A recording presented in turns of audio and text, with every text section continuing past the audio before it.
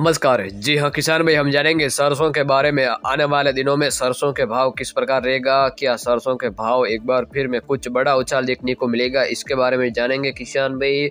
पिछले कुछ दिनों से लगातार सरसों के भाव को लेकर हर दिन नए रिकॉर्ड बनते रहे। लेकिन कृषि उपज में इस बार सरसों को भाव को लेकर काफ़ी चर्चा में है। जिस वजह से बता दें, सरसों की फ़सल इस बार अच्छी हुई और सरसों के सभी दाम भी एमएसपी से कई ज़्यादा आगे बढ़ चल रहे हैं।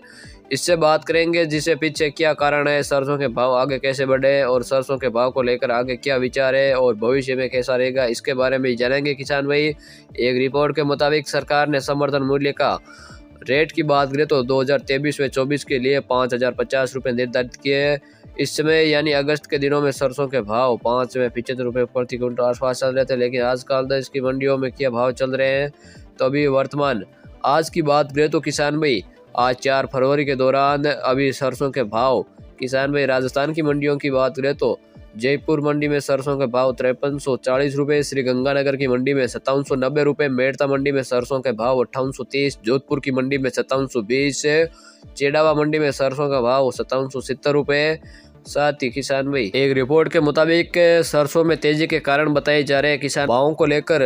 सबके मन में हो रहा है कि सरसों के भाव इतने क्यों बढ़ रहे हैं, इसको लेकर पीछे का कारण बता दें कि बाज़ार में सरसों की नई फ़सल इन दिनों में आनी शुरू हो गई और इसका सरकारी रेट था, वो पाँच हज़ार पचास रुपये। जैसे ही ये फ़सल बाज़ार में आना शुरू हुई तो तभी इसका दाम छः से सात हज़ार प्रति क्विंटल रुपये हो गई और बिक्री शुरू हो गई। बता दें, शुरुआती इसके दाम उनसे मिलने लगे तो बड़े समझदार किसान इसका स्टोर करने लग गए और बाज़ार में इसको कम ला रहे हैं, लेकिन 2023 में सरसों की उपज पूरे भारत में अच्छी पैदावार हुई, जो पिछले साल की तुलना में सात में आठ परसेंट अधिक है। आने वाले अगली फ़सल में भी इसका ज़्यादा इजाफा देखने को मिल सकता है। सरसों के उत्पादन में 10 से 15 परसेंट तक की ज़्यादा पैदावार देखने को मिलेगी। रूस व यूक्रेन के बीच युद्ध चल रहे की वजह से बहुत सारा सरसों का माल अभी सप्लाई नहीं पहुँच पा रहा है। भाव को लेकर आगे बात नहीं कर सकते हैं, लेकिन इस बार सरसों समर्थन मूल्य से काफ़ी ऊँचे भाव में बिकती नज़र ज़रूर आएँगी।